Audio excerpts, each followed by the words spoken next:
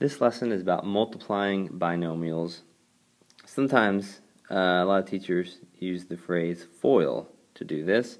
Some teachers are don't like FOIL and have other techniques, um, but I think FOIL is the most straightforward technique. It's quick. Um, you might have learned a technique in like drawing a picture or a square or something like that, but uh, and that's fine, but in truth, you want to be quick. So, uh, depending on how fast that is, that may be slowing you down when most people can do it um, really in their heads. And eventually, honestly, even the last lesson we do here, you have to be able to do multiplying binomials in one step in your head because uh, later on you're doing it backwards and you don't have the luxury of um, writing it out. So, um, this is something that's very important getting quick at and getting good at. So let's do just two examples of this. Okay, let's do these two examples. The first one, x plus 2 times x minus 5. I'm going to describe this the FOIL technique. Again, if you have other ways of doing that's fine. There's nothing really magical about FOIL. You can use, I frequently joke, LOIF if you prefer. Or you can choose OLIFE or um, any other variation of these you want. You could do file. It doesn't matter. The key is you have to do one of each thing. You have to do first, you have to do outside, you have to do inside, you have to do last. The order does not matter, but doing it in the FOIL order is preferred. Uh, file wouldn't really matter, but doing it first, first, and last, last usually, usually puts them in the right order. So we're going to try to do that. Let's get rid of all this, though. Maybe I should leave foil up there though. So the first thing I'm going to do is first. And, and multiplying the first here, where is that? There we go. First of this times the first of this.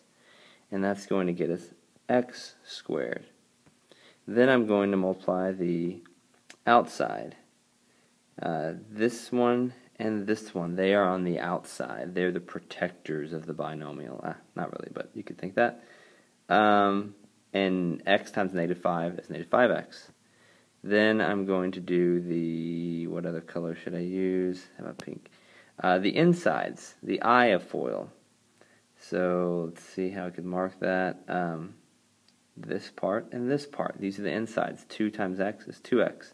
And finally, I do the lasts. What color should I use? Red. So that would be 2 times negative 5 is negative 10. So um, you multiply these all out, and you end up with, uh, oh, and by the way, there are four terms, and typically in FOIL, the outside inside, I frequently call it the OI of FOIL, are like terms. So combine those becomes negative 3x minus 10 and you've done it. This is something we do very frequently in math, um, especially on Algebra 2 and beyond. And like I said, to, get, to be able to do what I'm going to show you uh, in the last lesson, you really have to be able to, to uh, foil well. So hopefully that's coming along for you. Um, so you, you could multiply things like that. I could do an example where I put some numbers in, or some things like 2x out front. Um, I'm not going to do that here, but you should be able to do those as well. Let's do our last example. Okay, the last one is going to be, uh, actually I was showing you what would happen if you had a 2, or telling you about you need to know how to do it with a 2x or 3x or 7x as the coefficient of your x part. Well, here I'm kind of going to do that. I'm going to do 2x minus 9 quantity squared.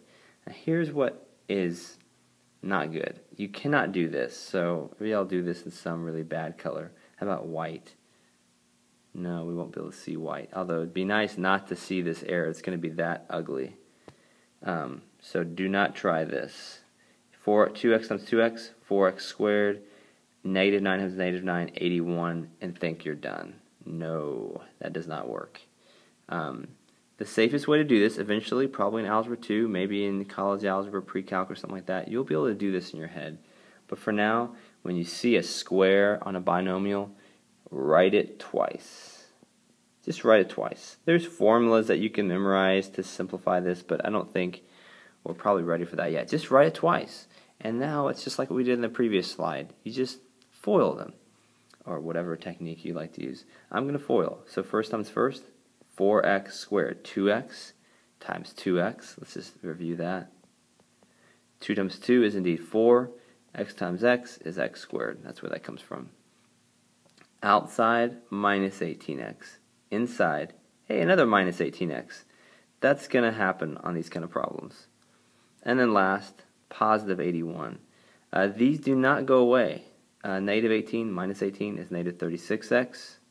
Of course, this doesn't go away either. 4x squared minus 36x plus 81 is our answer. So notice that sad orange example over here didn't have the minus 36x. That's, that's significant. Um, and this is just an error that math teachers really don't like to see. So um, play it safe, rewrite it without the square, just write it twice, FOIL it, and you're so hope that makes sense. Um, hope this helped. See you next time. Made with Doodlecast Pro.